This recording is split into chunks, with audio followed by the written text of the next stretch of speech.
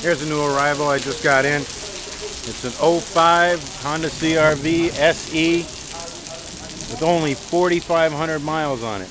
That bumper we're going to take care of. We're going to get that fixed right now. That's right, they hardly ever drove this car. The SE has leather. And the sunroof. See, thing even has a cassette player. We still use those things? Beautiful car. I'm gonna make this quick because it's raining out here. Comes with floor mats, a lot of room. You can do this thing.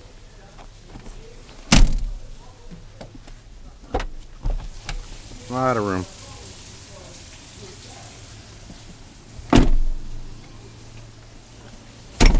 Come see me, Mark Sean Haast over at Brickell Honda on 8th Street.